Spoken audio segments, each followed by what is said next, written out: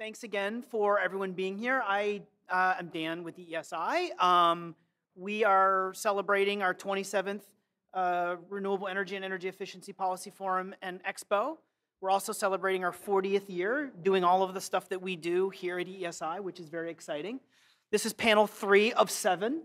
So we've already covered energy efficiency in rural and tribal communities. Now we're going to get into energy system modernization. So, you know, no big thing. Uh, and then followed uh, by sustainable transportation, renewable energy, workforce development, and national security and resilience. We have a tremendous lineup. Um, we are also expecting a special guest to join us at some point. Um, I would like to start by uh, saying a thank you that I um, just want to trying to spread my thank yous out over the course of the day because I have so many. Uh, we are treated to being in this room as well as the Rayburn Foyer uh, because of the uh, great support from Representative Paul Tonko and the Sustainable uh, Energy and Environment Coalition. He's also a member of the Renewable Energy and Energy Efficiency Caucus here on the House side. So just wanted to acknowledge uh, that he was uh, instrumental in helping us get this, which is kind of the perfect place to have this event. So without any further ado, uh, I'm going to introduce each one of our tremendous panelists. They're going to have about five-ish minutes to let you know what they think you need to know for the rest of the panel, and then we'll have some Q&A. We'll do our best to wrap up on time, uh, but I, uh, if you would like to learn more about them, uh, again, we have the exhibit space. We'll also have a reception at the end of the day uh, today in the Rayburn Foyer, so hopefully you'll be able to join us for that. All right, without any further ado, our first of five esteemed panelists is Alejandro Moreno. Alejandro is the Associate Principal Deputy Assistant Secretary, Office of Energy Efficiency and Renewable Energy at the U.S. Department of Energy. Alejandro, I think this is the first in person briefing you've done with us for a while. I think they've been online mostly lately. So it's great to see you in person and take it away. Thanks, Dan. It's great to be here. Um, probably, if you're like me, wondering what that title means. Um, I am the senior career um, federal officer in the Department of Energy's Office of Energy Efficiency and Renewable Energy. And just out of curiosity, since we're starting a panel, Raise your hand if you've heard of the Office of Energy Efficiency and Renewable Energy. Oh, that's good. All right. So you don't really need me to tell you that we are the closest thing to a to the government clean energy innovation hub or, or tech hub. Uh, and we're responsible for the R&D for the vast majority of the technologies that you think of when you think of sort of the future of, of the energy sector, wind, solar, all, all renewable power generation, also transportation and fuels, EVs, biofuels, hydrogen, uh, as well as building technologies, industrial technologies, and, and just for good measure, all of the advanced manufacturing work uh, that the department does. Um, but really the, and I should say we are also the steward of the National Renewable Energy Lab, and I'm assuming if you've heard of EERE, you've certainly heard of NREL and, and the incredible work that they do. Um, with the focus on sort of the modernization of the energy sector, the, the real message that, that I want to give today is that the energy sector is changing. You probably don't need me to tell you that if you're in this room or if you just go out on the street or drive out in um, outside of DC. You see solar farms, you see wind farms, you see EVs on the road. Um, it's changing really fast. Um, when I started at, at DOE, wind and solar were a negligible portion of, of overall generation. Now they're, they're closing in on 15%. Um, EVs are now um, increasing in, in double-digit percentage of sales every year. Um, solar is something like eight, a little over 80% of new power projects um, every year are solar. Uh, and it's not just here. Um, same thing in Europe, same thing in China. In some cases, you know, the, the acceleration and the adoption is even faster, uh, and government policies setting a really clear vision for the future of, of the energy sector that's really based on electricity um, and based on new technologies is really clear. Um, and the reason that you see this is these technologies are good. It's not just that wind and solar in most of the US are the cheapest form of electricity generation you've ever seen. But if you think about the future of the energy sector that's primarily based on electricity. It's deeply interconnected. You have generation and demand able to respond in a way that is orders of magnitude faster than anything that you see on the system today. You have generation that's distributed in a way that makes it, if it's designed well, particularly resilient to cyber threats, to physical threats. They can come back online in very distributed ways. Um, you have technologies, of course, that are clean, not only that they don't emit climate um, change causing uh, emissions, but they also don't make our air dirty. They don't make our water dirty. They're good um, for us. Um, and lastly, they're free. The energy source itself is free and freely available. Of course, designing the technologies and developing the infrastructure to take advantage of it is not free. Um, but once you have that in place, you have effectively an unlimited free source of energy. This is quite compelling. Um, but at the same time, there are challenges to that. Um, there's real innovation that continues to need to be done to bring down the costs everywhere of technologies that, that we see of wind and solar to create new opportunities for generation, for geothermal, for offshore wind, uh, to continue to increase the density, reduce the volume of vehicle batteries, make it faster and easier to charge, um, to create new fuels that can, you know, without some of the, the climate change causing effects of, of, fossil fuels that can get to the heat levels that we need um, in order for large manufacturing, for example. Um, and in order to, to actually ensure that this innovation happens, of course, we need to support people like the researchers at NREL, the researchers in our national labs um, that are developing the new technologies every day to actually make this happen. Um, and the reason this matters so much, and this is sort of what I'll leave you with, is these changes are, are happening. And the difference between a, a energy system that's based on sort of where the, where the control is where the fuels are versus an energy system where the fuel is freely available, the energy source is freely available, is ultimately the people who control that, the countries that control that are the countries that have the technologies, the countries that manufacture the components and the systems, and the countries that control the supply chains.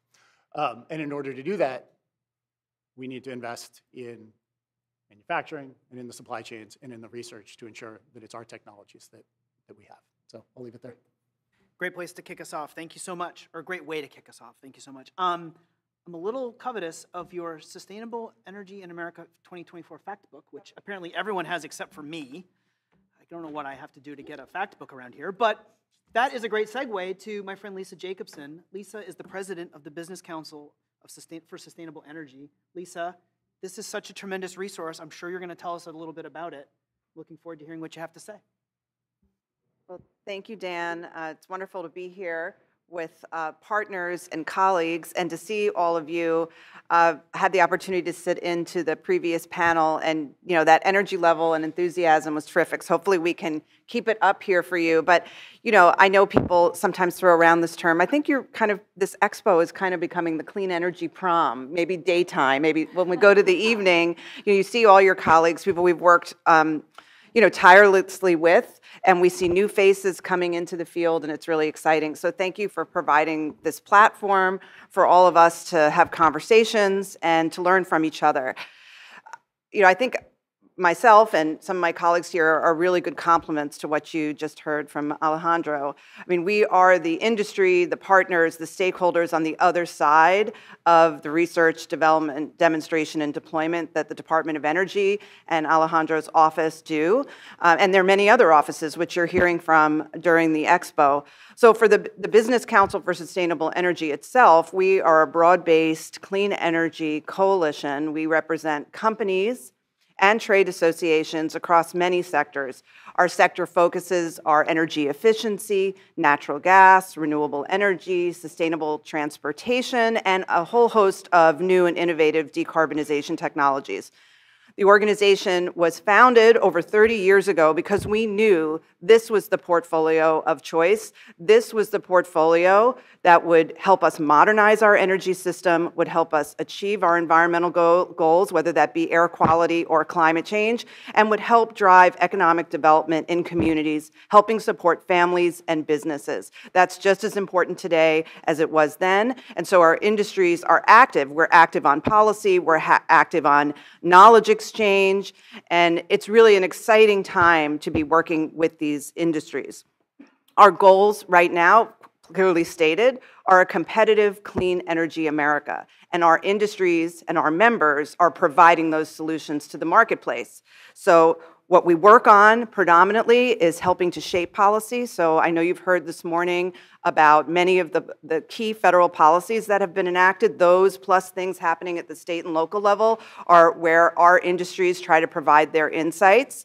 So for right now, you know, clearly things like um, the Infrastructure Investment and Jobs Act or the Inflation Reduction Act or even going back to the Energy Policy Act, they all took a very important broad portfolio approach to our energy modernization as a country. And so there's much work to be done to implement them. But we're also looking out at new policy areas. There are things that are new because, as we just heard, the energy marketplace is transitioning very quickly. New technologies are coming available. There are new needs that we have. And so What's nice about the opportunity now is that we can work and take advantage of the market signals that we have received from the policies that have been enacted, but it also brings to light or provides new opportunities to address policies that we might not have had the urgency or the ability to address before. So some of those uh, from the BCSE side are you know, permitting and siting reform and we'll maybe get into some of the details of that, or if you discussed it already this morning, you know, that we have some new activity. We're hoping that that bear fruits, building on some of the reforms that were enacted in the Fiscal Responsibility Act. But there's more work to be done, and you know, it's here federally, but it also, again, is at the state and local level. And picking up on one of the aspects that one of the panelists in the rural communities session discussed, there's a lot of capacity needs. So we can make reform here and we must, but we need to have that capacity at the state and local level then to actually execute and review permits, help communities get engaged in the process. So there's work to be done. So beyond federal permitting and siting, we still see really important needs for research, development, deployment, and demonstration. And we've been longstanding supporters of those federal investments at the Department of Energy, at the Environmental Protection Agency, and other parts of the federal government. So we work on budget and appropriations. We also are working actively on tax policy. And you know, we can spend more time on that, but again, implementing the really historic opportunities that we have with the new tax policies from the Inflation Reduction Act. Getting those rules right is critical to delivering on the ground. But there also were things on the tax agenda that we did not have an opportunity to enact. So we want to work on those when Congress is looking at a tax bill later on. Um, I know my time is up. You know, just to say on the fact book, we are so uh, pleased that we've had the opportunity to share the fact book data with EESI's network, and this is a hard copy of it. All of it's available for free online. You can get to it from EESI or the Business Council for Sustainable Energy. But long and short, when we looked at the figures from the last year, we were astounded to see the really thriving, robust clean energy transition underway. But when you look at where we need to go. We have so much more work to do. So the partnership um, is really important to us between industry, uh, policymakers, and communities. Thank you. Thanks, Lisa. And we actually did a briefing with you all back a couple months ago, so that's a great way if you want to get kind of an overview of the fact book. That would be a great place to start. Next up, we have JC Sandberg. JC is the Chief Advocacy Officer for American Clean Power. JC, always great to see you. Looking forward to uh, hearing what you have to say. Well, thank you. Um, it's a pleasure to be here, and I just have to give Dan a little bit of a hard time in that he's had this big job for a long time. I've known Dan for 20 years, and this is the first time he's actually invited me to speak, so I don't know what that says about our friendship. Um, uh, I, I, really uh, value the opportunity, and I do think the world of Dan and what he does here, and um, you're lucky to have him as a resource. I think, as you've heard from people talk about, this is an incredible time of change, and a great and timely discussion around what does it mean to modernize in this time of change. And I think as we look at this, um, it's important to think about a couple of things. And, and I think as, as, as first, I guess I should start by, uh, I'm in a testimony mode. When I testify, I never introduce our association. But we, uh, American Clean Power represents utility scale development of, of renewable energy. So the people that make it, the, the equipment, the people that put it in the ground, the people that finance it, the people that buy it, and we'll hear a little bit from Bryn about the corporate side of that is a big part of our market, but also the utilities and all that kind of comes together under one roof across technology of solar, wind, both on and offshore, batteries, transmission. Our members develop hydrogen, so we're on the green hydrogen side as well as we look at that. So that's a little bit about us, a very large uh, trade association in that space. So as we look to decarbonize, kind of, and to, and to move this ball forward, how do we how do we do those things? How do we decarbonize? How do we modernize while while we depoliticize? So, kind of, this has become such a political hot topic, and um, for a lot of reasons, which we could take a lot of time unpacking. We won't here today unless Dan wants to ask the question. but I think what, really depoliticizing uh, kind of this energy transition and clean, safe, reliable, secure, affordable, all those things, those aren't political buzzwords. Those are kind of economic, kind of American buzzwords. And so how do we kind of take the political nature of this as, as we move forward? I think energy policy is, you know, largely for, for years and years, um, with some exceptions, notable exceptions, is largely been made through the tax code. And so um, the, the latest round of that was the Inflation Reduction Act, and that is driving modernization in the marketplace. That's driving um, a reinvestment in American manufacturing. It's driving a renaissance in deployment. But all those things don't happen without a couple of important pieces. One is the government partnership, right?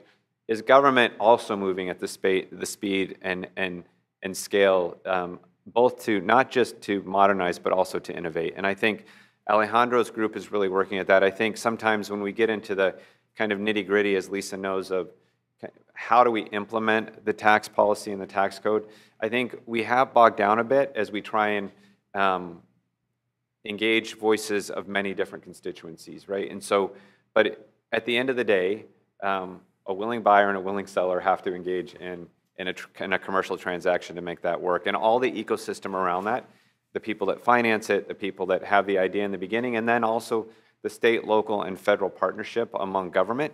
That all has to come together in a way that sometimes I think government has to work very hard to be in the right place at the right time. And so I would say um, the current administration has been working really, really hard um, in partnership with many constituencies to make that happen. And at the end of the day, I think that's what matters, right? Is that all these groups are coming together with one common purpose, and that is whether you call it modernizing or it's transition or whatever the term you want to put to that. Um, we're happy to be in the middle of that. And um, uh, again, I want to just thank Dan again for being here, and I'll look forward to questions. Thanks, JC. I think the real reason why is because Bill Parsons wouldn't let anyone else take his spot. Um, um, but uh, it's great to have you on the panel. I think Bill, it does go back 20 years. I think it might even go back yeah. Uh, we used. To, I don't want to derail this, but we used to greet each other by I would say, "Hello, Newman." Hello, Jerry. Every day for years.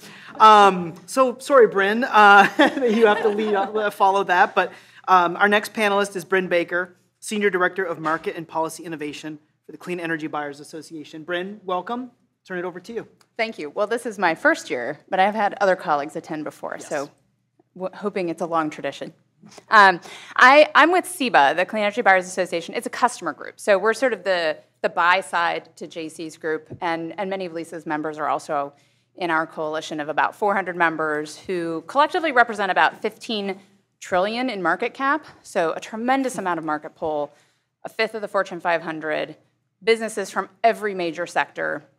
And these are energy customers who are also going to the market to ask for clean energy, clean electricity. They've contracted for about 80 gigawatts of carbon free capacity to date. That's over the last 10 years. And that's equivalent to about 40% of all the wind, solar, and battery capacity that we've deployed in this country over the last 10 years. They are making their market demand clear.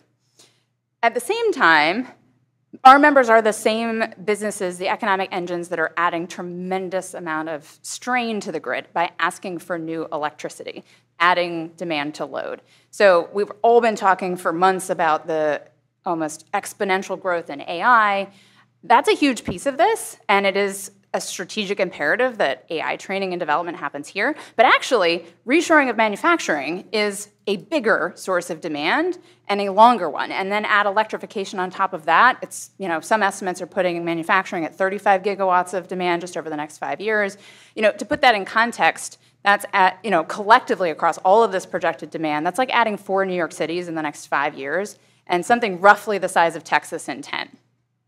And that's mind boggling. There's a reason we're struggling with that. But the reality is, we've, done, we've seen these growth rates before, we've built infrastructure at this pace before, but it does require exercising planning and permitting muscles that we haven't had to in a couple of years, or decades rather.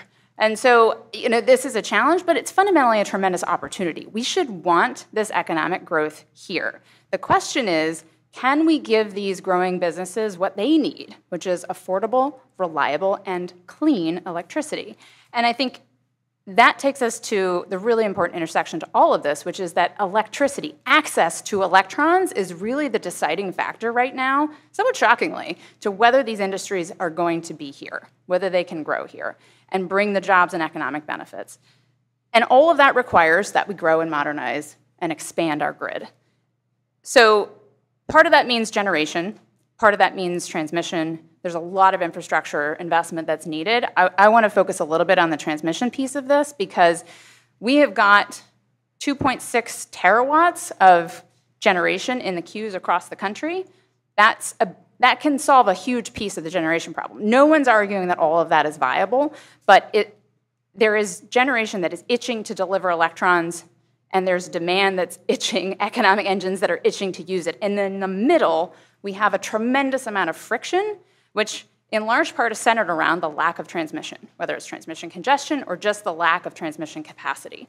So it becomes a national strategic and economic imperative that we tackle permitting reform and build out our transmission infrastructure. It's our top priority right now from a business perspective, and we also happen to be in a really exciting moment where we've got a lot of ideas on the table with the Manchin Barrasso bill last week we've got something to talk about. And in our view, we endorsed it because it takes us a tremendous way along the road to what we need to be doing to unleash the transmission system that we need to be building.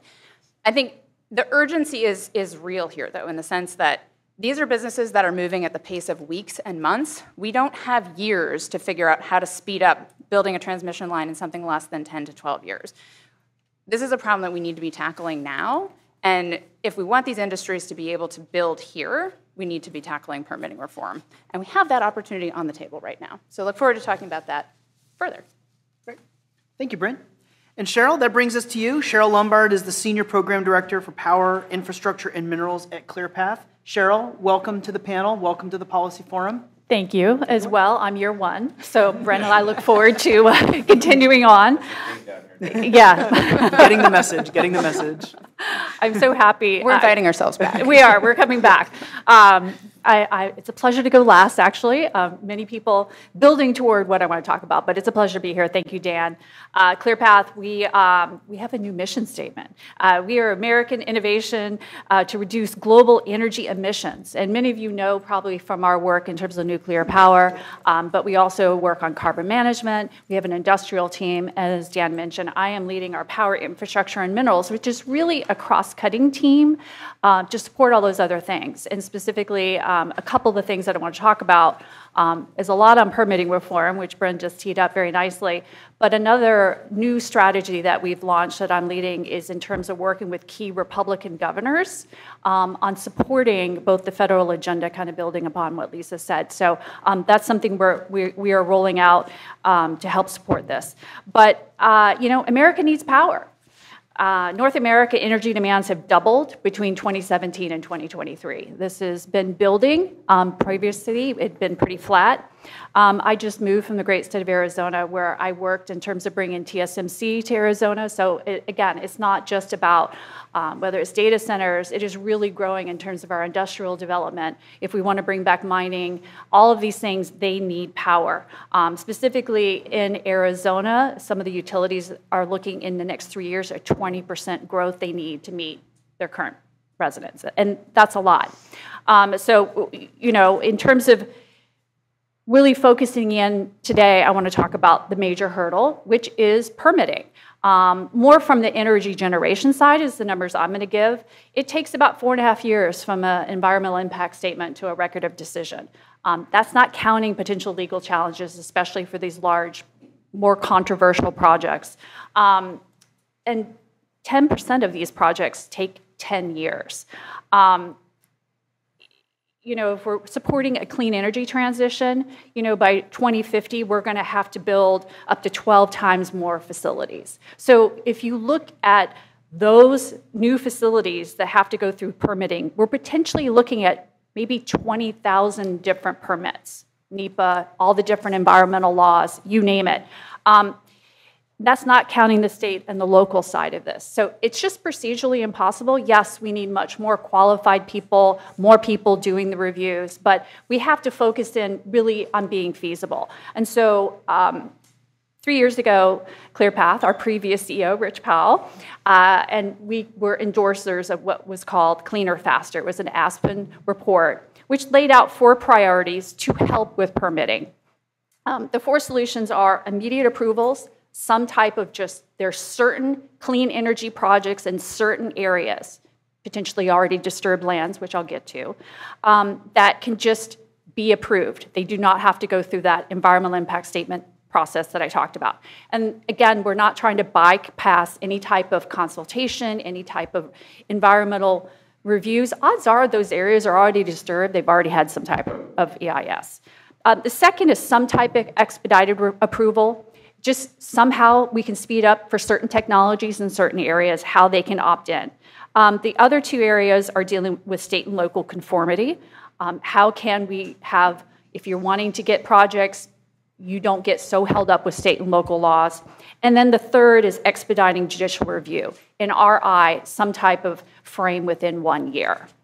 Um, we already mentioned the, the Manchin Barrasso bill, which is actually being marked up tomorrow. Mark your calendars at 10 a.m.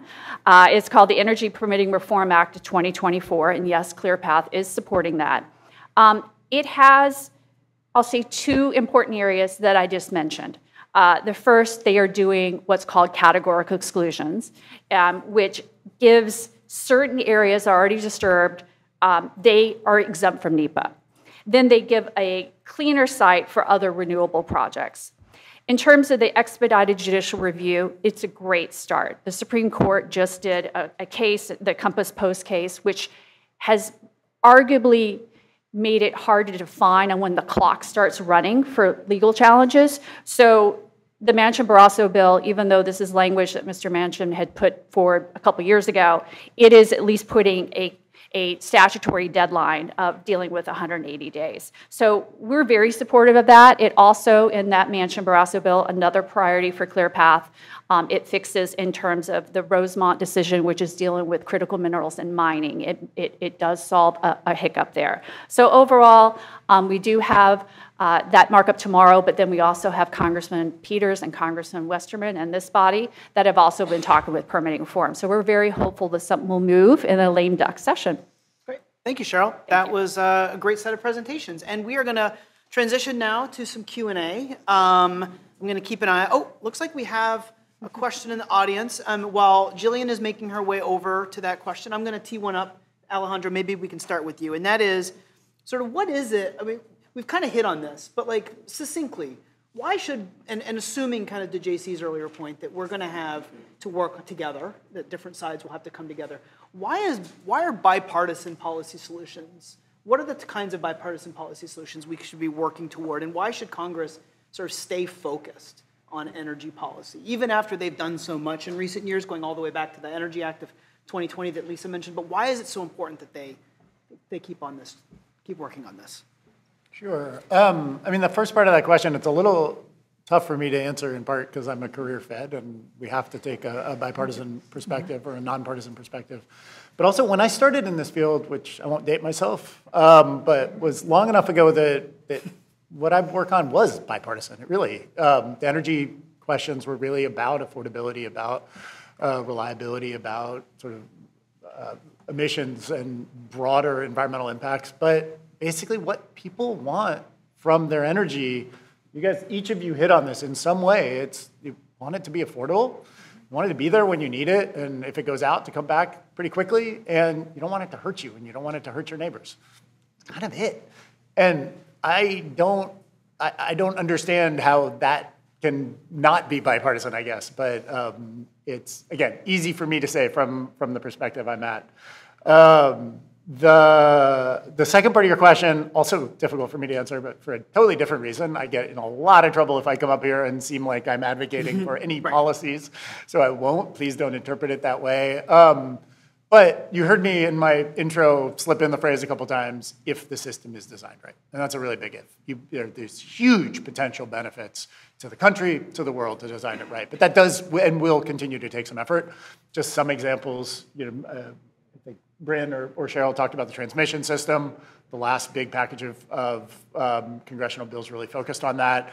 We also really need to focus on the distribution system. I think about 80% of utilities uh, know that they need to, to um, um, update their distribution system in the next few years.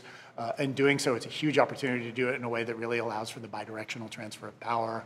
Um, you guys talked about, about permitting reform, um, also really focusing on manufacturing, mm-hmm. not just how you manufacture, but also enabling us to continue to manufacture things that have never been done before. Smart manufacturing is really taking off. It enables us for even to do things you might not think of, to reshore um, the construction of large metal items like hydro turbines, previously only done through huge industrial casting that has entirely moved away. We don't do it at all anymore for a variety of reasons. You can use um, additive manufacturing and smart manufacturing to bring that back home without any of the environmental impacts that drove large casting um, away. And so there are other ways of bringing back manufacturing in the US by doing things better than anybody else. So. Okay. Thank you, Alejandro.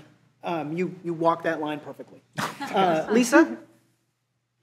Well, maybe I'll try to, so starting with the why do we need bipartisan policy? I mean, we need long-term policy, and mm-hmm. bipartisan policies tend to stick around. And why do we need that for infrastructure and energy investment? Because these are long-lived investments. And what we're trying to do is entice more public-private partnership. I mean, the opportunity to leverage federal taxpayer dollars is tremendous when the rules are predictable. So we need bipartisan policies because they tend to be long-term investable policies. And then, well, what's the opportunity side to create a bipartisan policy? Why should people come together? I mean, just thinking about um, our annual infrastructure week, which I think is in the summer, which we may have had already this year, but most Americans know when they drive on the highways or when they're you know, perceiving the infrastructure in their communities that those investments were made decades ago, and we need to make those investments to have modern services for communities and businesses. So just our infrastructure is old, and we need to make those investments. And now the challenge is to figure out how to do that equitably and in, in a fashion that has efficient construction and build, right? Um, we need to do that for people. So, uh, you know, there's tremendous opportunity to help people. And unfortunately, in the experiences we've had in the last several years with uh, weather events and other impacts to communities from climate change, uh, derived from extreme weather events, for other concerns community has, we need to have more resilience in our infrastructure and in our energy system. So that's another reason mm-hmm. for uh, bipartisanship. And then the last, as was touched on by I think all, there's tremendous competitiveness opportunities. We're not the only economies answering these questions or trying to figure out how to answer these questions. There's growing demand around the world for these technologies, products, and services. And the US is a leader and should continue to be a leader. So there's tremendous economic opportunity and jobs. Great. Thank you, Lisa. JC, over to you. Why should Congress be focused, still be focusing on this, even after they've done so much? Well, I, I think Lisa started the discussion. I durable solutions are the ones that are bipartisan. And I say this all the time when I speak, capital chases certainty. So you, you need certainty in the marketplace to attract capital into the marketplace. Um, and, and as Bryn outlined, I don't, it's hard to, if you're not in this space day in, day out, to understand how mind-blowing the numbers are that Bryn just outlined for you. So the, the load growth for manufacturing and AI is, is incredible. And what it does is it makes ener- um, deploying more energy not a zero sum game anymore. So it used to be could you, for years in the early 2010s, and maybe even before that, it was could you beat the avoided cost of gas? So was, was that electron that you were putting on the grid, that new electron, did it beat the, did it beat the cost of natural gas, which was, as you all know, was becoming very prevalent about that time? That's not how it happens anymore, right? There's so much growth, load growth, that you need everybody, and you need everybody to be reliable, and you need everybody to be secure, and you need everybody to be clean to accomplish all those goals. So transmission clearly plays a part in that. Um, deploying um, the, the capital and the resources play a part of that, and then being able to get it in the ground. So you heard Cheryl talk about it, you heard Bryn talk about it. Permitting reform is so important. And it's important for transmission from a federal perspective, it's important for, um, as we kind of, as an advocacy group and as an industry, go into states, how do we find that same kind of fervor to put assets in the ground? Um, where NIMBYism, I have a friend who lives in Fort Collins, Colorado. His parents, for whatever reason, signed on to a petition to stop Topgolf. So you can understand like what's happening in local communities. It's just across the board, don't build anything here. So that, that's real. How do you, in some places, I think Cheryl might have been tiptoeing toward the edge of this, how do you, or Bryn, how do you wrest control, um, put it back at a state level in some places where you see large markets that are important in the states? But all those things depend on durable policy solutions, which begin and end by depoliticizing them. So that's my long way of saying that's why it's important. That's a great way to say it. Bryn, um, you've been referred to a couple times. I'll summarize, I mean, sort of building off mm-hmm. the general need for bipartisan permitting reform. Thank you. Thank and you. and grid modernization in the category of costs, reliability, and, and economics. The first on the cost side is we're doing this in the most expensive way possible right now, especially when you talk about transmission build out. That costs everybody a lot more than we should be paying for infrastructure and transmission included. On the reliability side, I mean, we seem to be one enormous storm away from billions of dollars in productivity losses. That hits all of us, it, it includes businesses and what they have to do to recover and provide goods and services back into the communities. Those are very visible pain points that mobilize the customer side of this equation to say, we have got to figure this out because there's just the, the losses are, are piling up. And then on the economic development side, I mean, th th that's sort of what I opened with, but the points here are obvious that we can all benefit by capturing these growth industries of the future, and that requires power. But a simple observation is states are competing, whether they know it or not now, for attracting these mm -hmm. industries. And it's based on whether they have the infrastructure. The reality is businesses and growing industries are venue shopping because they have to. And so the states that will win out on these economic opportunities are the ones that are proactively planning and building the infrastructure to capture those opportunities. Those are all bipartisan priorities. Thank you. Cheryl? Um, well said, Bryn. Um, as I mentioned, I moved from Arizona. I was in a different position, but I was working not just on TSMC, but I was representing the commercial real estate development industry. And our focus was all infrastructure. It was the energy side, it's the roads, it is water for there, it is making sure you have all of that available, your tax structure. You have to be ready to go.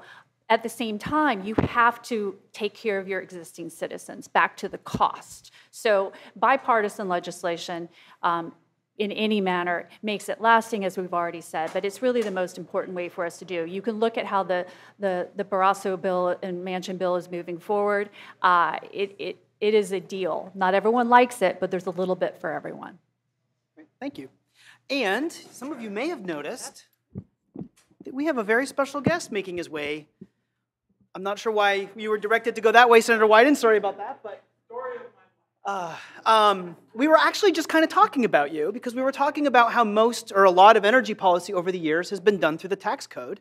And of course, you know a lot about that. Once upon a time, there was a little bill called the Clean Energy for America Act that became part, a big part of the Inflation Reduction Act. And uh, we're really happy to have you join us today. You chair the Senate Finance Committee. You're a senior member of the Energy and Natural Resources Committee. You're also in the Senate Budget Committee which has been doing more in the climate space lately, thanks to its new chairman. Uh, so, really, we couldn't have a better member of the Senate make your long way over here to join us at the 27th Annual Renewable Energy and Energy Efficiency Policy Forum. Senator, I'll invite you to take the microphone and love to hear what you have to say and what you're working on these days, and it's always really nice to see you. Thank you. Thank you I, I'm going to I'm going to make this a filibuster free zone, okay? And I'm juggling a lot of stuff. You may have heard that taxes will be on the floor of, uh, of the United States Senate on Thursday, and so it's really a hectic time. And I thought I'd just walk you back through a little bit of the history here.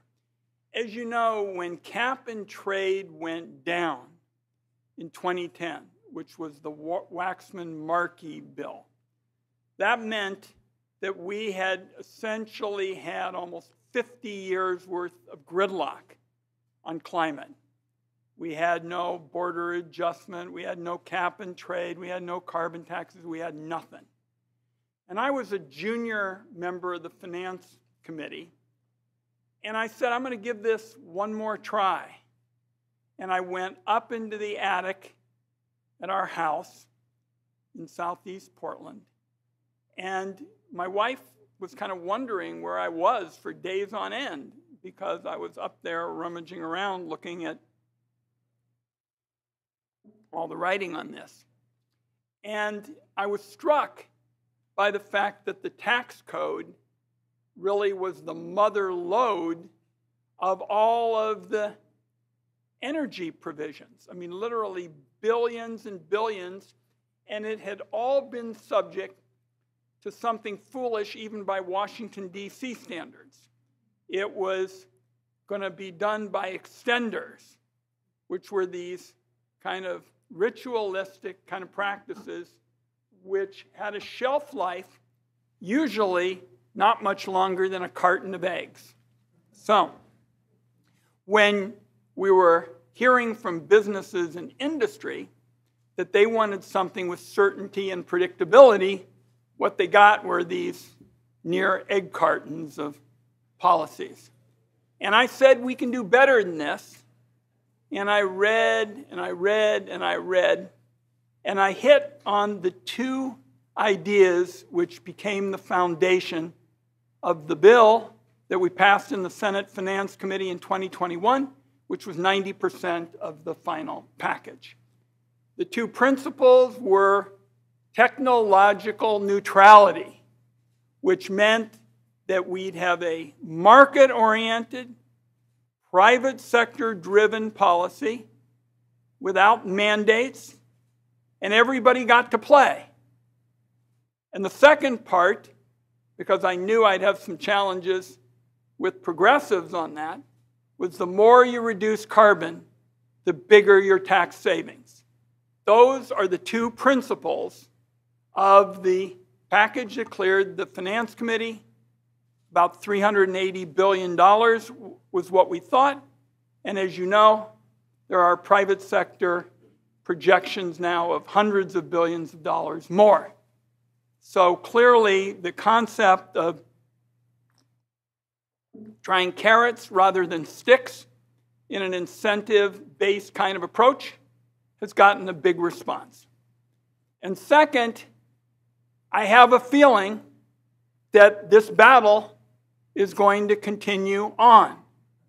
You know, I started it right after 2010, as I mentioned, became chairman of the um, Energy Committee and chairman of the Finance Committee. Joe Manchin invited me to West Virginia, and we essentially sealed the agreement on a vision around technological neutrality and rewards in the tax code for carbon emissions. And today we see members of Congress, particularly some of the House Republicans, having voted against this vision, now go home, take part in the ribbon cutting efforts at home, and somehow try to say to their constituents that it was their work that brought it all about.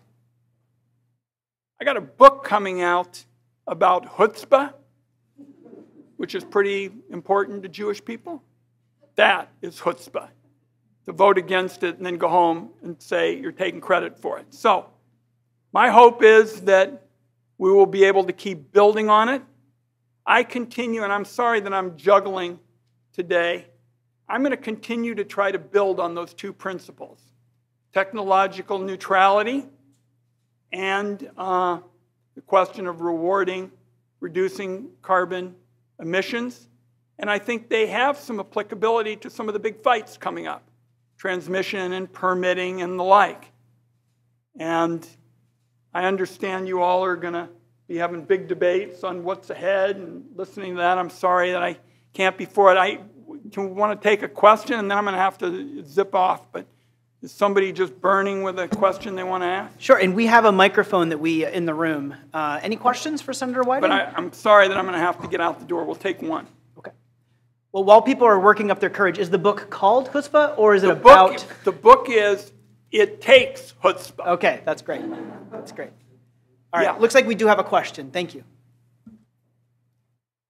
Thank you, Senator, for your, for your remarks. My, my immediate question is, if we have this communications divide, how do we fix that? How do we fix the messaging so the, the, the people understand um, what, what is going on in Washington and how that is benefiting every corner of America? I hope that I went a ways to talk about some of the messaging carrots, not sticks, market oriented, private sector, technological neutrality. The more you reduce carbon, the bigger your tax savings. Look, these are not words that people talk about at every coffee shop. And I'm very much aware that I'm barely a household word in my own household. but call it quaint, I continue to believe that policy matters. And policy is going to matter in the end. And let me close with a little quintessentially American story that I use, usually use at the end of my town hall meetings. I've had almost 1,100 of them at home. The historians had a big debate about it, and now apparently they have given to Abba Eban, the uh, Israeli diplomat, the uh, development of the theory, but apparently one day Abba Eban said to a group of people, The Americans always get it right. And then he paused and he said, After they've tried everything else. Thanks, everybody. Thank you, Senator Wyden. Thank you so much. Good luck with everything. Thank you very much. Thanks. All right, that was great. Um, that was very cool and a perfect, uh, perfect uh, sort of segue for what we were just talking about. We did have a question, um, and I sort of called on you, and I want to make sure we get to it, and then we'll break for the panel. So this will be it. But please, if Thank you, Please go ahead. Daniel. Thank you, Daniel. Um, Doris Marlin, retired Department of Defense, last position with the Office of Energy, Energy Assurance. Primarily, I'm directing my question to Dep- Deputy Moreno. And I want to first of all thank you and your staff for a wonderful tour that I had at the Solar and Wind Lab at NREL. Um, my question is what is the path and when can we get to the next generation of scalable flow storage batteries that take us beyond lithium and similar types of storage that require socially and environmentally destructive mineral extraction. Alejandro, you can have that first, and if anyone else wants a, a stab at it, Cheryl, JC, looking at you. Well, you, you've managed to hit on one of the few technologies that actually isn't in EERE. Um, so I'll do my best to talk for our Office of Electricity, which covers all of the flow battery work.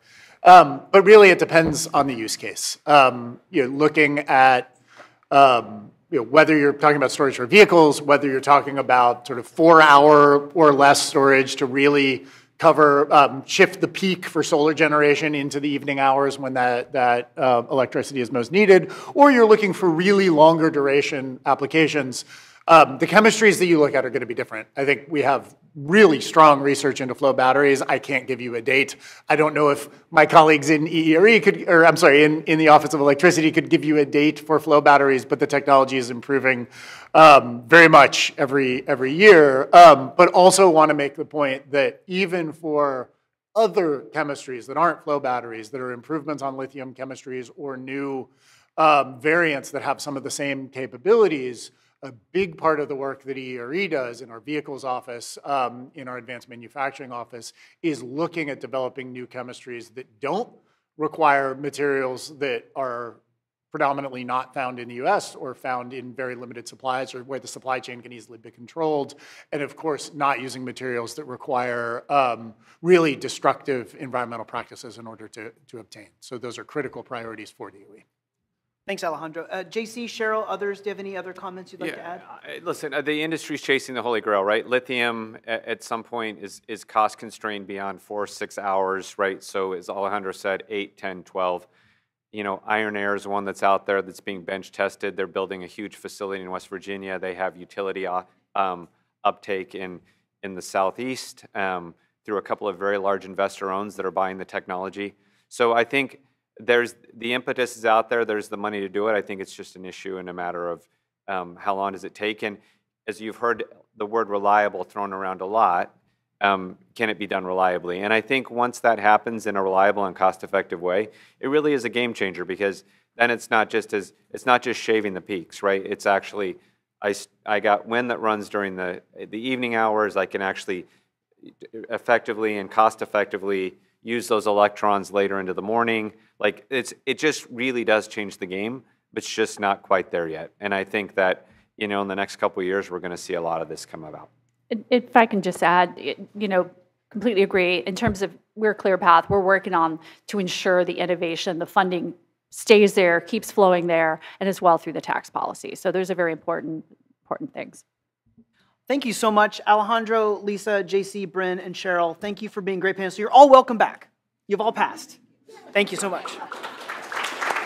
I'm sure everyone was on the edge of your seats. Did they, did they do good enough? Of course they did. They were awesome. And I encourage folks who want to uh, spend a little bit more time with their organizations, check out the exhibit area over in the Rayburn Foyer. Um, at uh, if you have a little uh, hunger and maybe a little thirstiness at five o'clock, we're also having a reception. So everyone, of course, is invited to join us uh, on the panel and in the audience. We have about six or so minutes. I see most of the next panel in the back of the room, so we have about six or so minutes to transition. Thank you again for being awesome panelists, and uh, I'll see you around. Thanks. Thank, Thank you. Thank you. So we all.